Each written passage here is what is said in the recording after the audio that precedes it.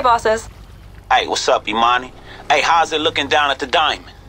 Well, our promoter is renting a penthouse for some hyper exclusive party, and his Bleeter is all about the leak coming tonight. Alright, look, we gonna crash that shit. Now get back to the office so we can move on this asshole.